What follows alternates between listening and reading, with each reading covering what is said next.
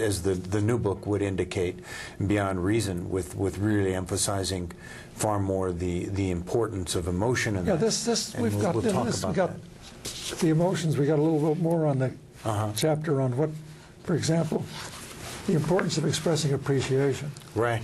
I never had that one, but the, the first thing is, if I appreciate you, Mm-hmm. thank you for having me here, thank you for inviting me, thank you for leading with the questions. Mm-hmm. You can't help but enjoy that. You can't help but like to be appreciation. Mm-hmm.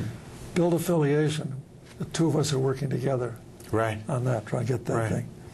Uh, I'm going to respect your autonomy. Ask whatever questions you want. I'm not going to binge on you. Mm-hmm. And then don't compete over status. Mm-hmm.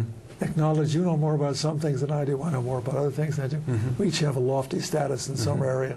That's fine. And then on choosing your fulfilling role, Mm-hmm.